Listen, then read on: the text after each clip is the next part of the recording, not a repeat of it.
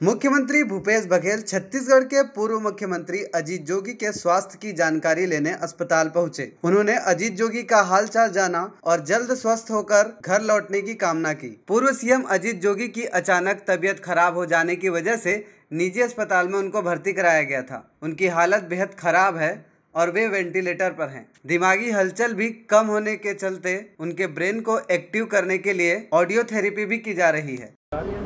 योगी जी की तबीयत जब बिगड़ी, तब उस दिन भी उनके चिरंजीवी अमित जी से मैंने बात की थी। बात के बारे में जानकारी ली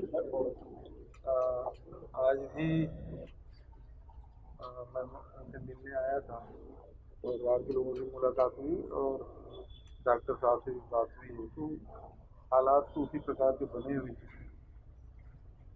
और वैसे योगी जी हमेशा मौत को मात दे के हमेशा निकल के आए। हम हम सब उम्मीद करें सोचे ये प्रार्थना के शक्ति दे और फिर से स्वस्थ हो यही कामना उनको तो डॉक्टर लोग भी ज़्यादा अच्छा बता सकते हैं इसके बारे में टेक्निकल चीज़ें विभागों में खर्च की कटौती की आपने कहा है। किस तरीके से?